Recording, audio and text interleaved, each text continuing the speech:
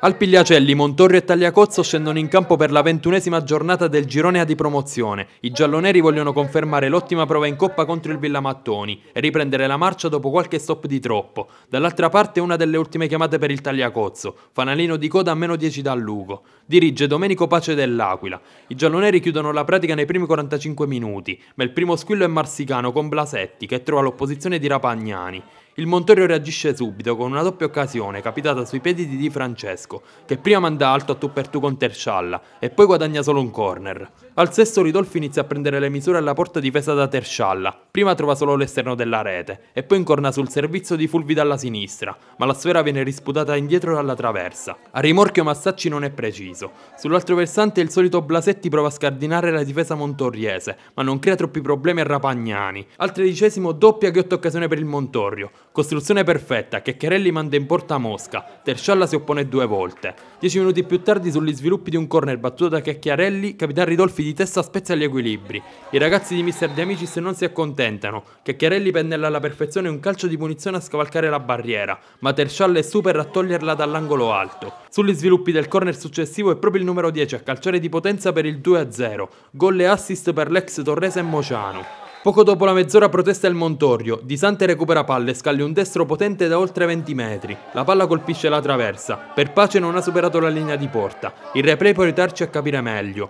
Poco male per i padroni di casa, perché nel finale di tempo prima l'autogol di Tabacco sul traversone di Mosca e poi la doppietta di Ridolfi servito da Monaco fissano il punteggio sul 4-0. Partita già chiusa all'intervallo. Le immagini di Manuel Centurame ci portano alla ripresa, dove i ritmi si abbassano, ma le occasioni non mancano. Il Tagliacozzo torna in campo con l'obiettivo di ridurre il passivo. La punizione di Tullio termina fuori dallo specchio. Al dodicesimo genialità di Disante che scorge Tercialla fuori dai pali e prova a beffarlo da centrocampo. L'estremo difensore riesce a toccare in corner.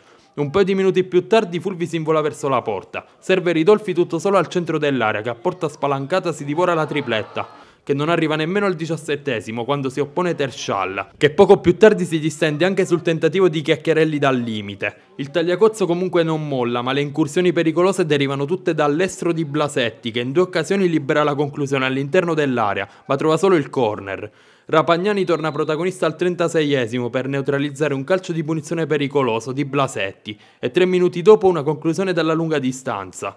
Allo scadere arriva il 5-0 giallo-nero con la prima marcatura del classe 2006 Semir Deliu, complice una deviazione che mette fuori causa Terscialla. Titoli di coda al Pigliacelli, Montorio batte Tagliacozzo 5-0 e recupera 3 punti al San Benedetto Venere, sconfitto a Guardiavomano. Ora i punti di differenza sono 6 e domenica c'è lo scontro al Manfredo Profeta, crocevia fondamentale per la stagione di San Benedetto, Montorio e Celano. Mister un 5-0 al Tagliacozzo, una partita chiusa nel primo tempo, non c'è stata storia.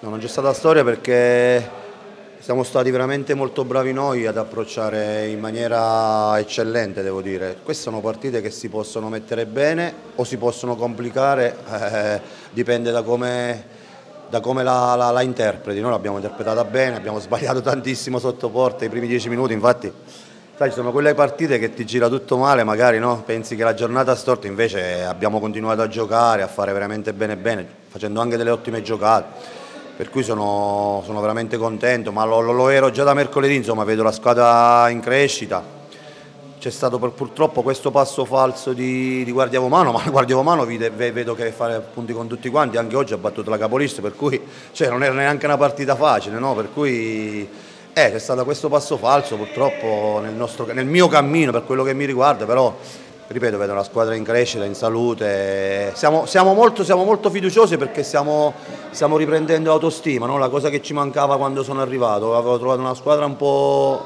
moralmente giù, invece stiamo trovando, ritrovando autostima, ci divertiamo in mezzo al campo, facciamo delle buone cose, dobbiamo continuare su questa strada. Assolutamente sì per quanto riguarda il primo posto, assolutamente sì, eh, è chiaro che è una partita difficile, loro adesso non lo so, troveranno un ambiente incavolato perché vengono da una sconfitta, tutto quello che ti pare. Insomma sappiamo di San Benedetto è un ambiente abbastanza caldo, ma noi dobbiamo continuare a fare quello che stiamo facendo, cioè adesso non è che ci sono alchimie particolari o cose particolari, noi dobbiamo continuare a lavorare come stiamo facendo, i ragazzi mi hanno dato piena disponibilità dal primo giorno che sono arrivato, è chiaro che dobbiamo credere di più in quello che facciamo secondo me, perché abbiamo veramente secondo me una buonissima squadra E lo spirito è questo, lo spirito è questo, sarà completamente un'altra partita rispetto a quella di oggi, ci sarà da soffrire tanto, ma eh, le partite sono queste, sono dei momenti in cui riesci a giocare, a fare del bel gioco, a proporti tutto quanto, sono dei momenti in cui devi soffrire, devi tenere botta, domenica molto probabilmente dovremo tenere botta, ma lo sappiamo, insomma, siamo pronti a tutto, no? sicuramente non abbiamo paura di andare ad affrontare la Capoliscia,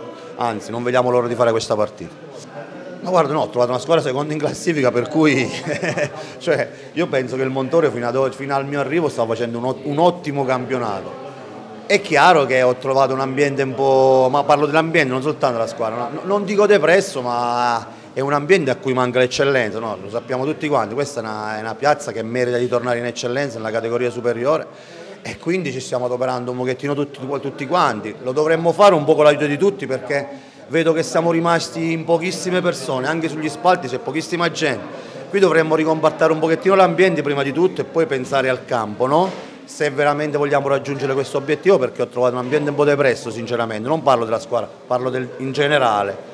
E però mi rendo conto che questo possiamo combattere l'ambiente attraverso i risultati. Noi ce la stiamo mettendo, mettendo tutte, però vorrei che anche fuori dal campo la gente ci desse un po' più, un po più una mano perché da, da, soli non andiamo da nessuna parte, anche, grosso, anche, se il grosso lo facciamo noi che andiamo in campo. No, noi sapevamo che era difficile, venivamo comunque da cinque ottime prestazioni e prima parlavo col direttore dicendo che sicuramente è l'unica squadra che ci ha messo in difficoltà a partire da quando abbiamo giocato a San Gregorio, che comunque venivamo da un 2-1 per loro eh, uno pari a Adria, uno pari a Trasacco e la stessa Miternina abbiamo perso 2-1, siamo stati sempre in partita, sappiamo che comunque eh, era difficilissimo per noi ma non eh, solo Montorio, tutte le partite, però se devo fare un plauso tra tutte le squadre che ho viste San Gregorio e Montorio è quella che ci ha impressionato di più, quindi nulla possiamo dire. Dico bravi per il secondo tempo, loro un po' si sono fermati e noi siamo riusciti a tenere testa fino alla fine. Certo, i primi 20 minuti, tra virgolette 20-25 non ci siamo eh, difesi anche se Montorio avrebbe potuto segnare due o tre circostanze, forse sulla palla dei Blasetti che potevamo andare in vantaggio, ma non è quello, io vedo che il secondo tempo, a prescindere, ripeto, che il Montorio si è fermato, siamo, eh, sicuramente siamo riusciti a rimanere in partita. Faccio un plauso a, ai nostri perché, eh, perché in questa situazione non stiamo mollando mai, a prescindere che la salvezza è un'utopia, però non posso dire che non regaleremo niente a nessuno, a cominciare anche da domenica prossima con Celano, come è successo, ripeto, con San Gregorio, come è successo a Trasacco, vogliamo onorare, tra virgolette, quello che è stato fatto da due anni a sta parte. Erano sette in campo, di cui un paio fuori, quindi ripeto, è una crescita che sono due anni, ripeto e continuo a dire, l'altro eh, siamo stati bravi e fortunati, quest'anno eh, meno bravi e meno fortunati perché non è che le colpe sono degli altri. Eh, ripeto, cercheremo di rispettare il campionato, soprattutto pure in fase che dobbiamo giocare comunque con squadre che stanno lottando insieme a Montorio eh, e cercheremo di dare il massimo eh, con l'impegno giusto che ci stiamo mettendo fino alla fine. Sono tra virgolette eh, molto amico con San Benedetto e quindi se parliamo di una situazione di, di capitemi, se parlo di normale che tifo per San Benedetto, però ripeto, veder giocare oggi Montorio, continuo a dire, fatto, abbiamo fatto delle prestazioni con la stessa squadra che hai visto oggi, non siamo stati mai in difficoltà come oggi, quindi eh, vedere i centrocampisti che si inseriscono bene, vedere i due terzini che scendono sempre, vedere i cambi gioco dei 60 metri ben riusciti, ci metto da una parte il fatto che noi sicuramente siamo più deboli, però anche le altre squadre sono più forti di noi, non hanno dimostrato. Per quello che ho visto io ad oggi, eh, Montorio mi ha impressionato di più perché ripeto anche a Celano siamo andati a una partita come questa, accorti, abbiamo perso 2-1, ripeto, continuo a dire, se devo parlare di partite che ho visto, Montorio mi ha entusiasmato di più, poi se devo di fa, dico magari tra virgolette tifo Celano o San Benedetto, essendo eh, squadre marsicane, però comunque dico che Montorio, lo ridico, è la squadra che mi ha fatto più impressione di questo campionato, per adesso ad oggi. All'andata